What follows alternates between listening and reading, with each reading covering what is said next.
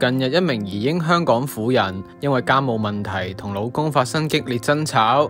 丈夫为躲避越发激烈嘅争执，走到楼上嘅房间暂避，但系妇人企口却手持十厘米长刀进入房间，并刺向丈夫嘅下胸部。妇人被当地法院起诉，最终被判缓刑十二个月，当场释放。丈夫表示佢哋一家原本相处融洽，直到移民之后，妻子因为生活压力先会有失控嘅举动。事件亦都被网民转发到讨论区讨论，有网民表示移民到要出刀。咁辛苦，而德文就遇咗壓力大啦。但係有網民就表示，關移民咩事啊？好明顯係個老公衰啦，怪移民係個老公令佢失控啫。